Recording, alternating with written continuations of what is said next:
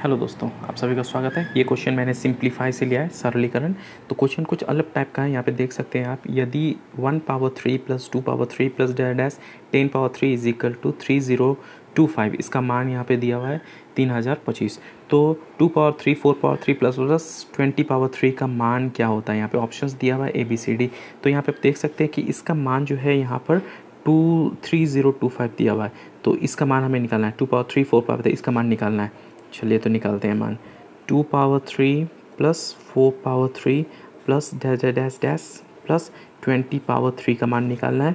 सबसे पहले आप यहाँ पे देख सकते हैं कि टू पावर थ्री, इसे भी मैं टू पावर थ्री में कन्वर्ट कर सकता हूँ, जैसे कि टू पावर थ्री प्लस इसे भी मैं two in two two whole power three लिख सकता हूँ, प्लस डैश डैश प्लस इसे भी मैं two into ten twenty whole power three लिख सकता हूँ ठीक है उसके बाद आप यहाँ पे देखिए टू पावर थ्री प्लस ये जो पावर थ्री है दोनों का है two power three into two power three plus dash dash dash plus two power three into ten power three ये मैं लिख सकता हूँ ठीक है ये अलग कर दिया अब यहाँ पे देखिए two power three two power three two power three two power यहाँ जो अंदर है डैश इसमें भी टू पावर थ्री और लास्ट वाले जो टर्म है इसमें भी टू पावर थ्री हमें क्या करना है कॉमन लेना है जब आप कॉमन लेंगे तो यहाँ पे क्या बचेगा वन प्लस यहाँ पे क्या two power three two power three common आ गया, बचा क्या यहाँ पर?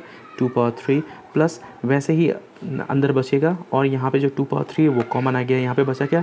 टेन पावर थ्री यहाँ तक आप समझ गए होंगे। उसके बाद देखिए two power three two power three लिख देना है। अब वन वन मतलब वन पावर थ्री भी आप कह सकते हैं। उसका two power three three power three यहाँ पे जितना है, उसका टेन पावर थ्री तो इसका मान कितना दिया हुआ है? One power three two power three का मान कितना है? थ्री ज़ीरो टू फाइव तो यहाँ पे हम लिख देंगे यहाँ पर थ्री ज़ीरो टू फाइव, उसके बाद two power three, two power three क्या हो जाता है? एट, ठीक है? इसका वैल्यू क्या होता है? एट। तो एट इंटू इसका multiply three zero two five. अब ये दोनों मल्टीप्लाई करेंगे तो क्या हो जाएगा? Two four two zero zero. So कौन सा आंसर यहाँ पे करेक्ट हो गया?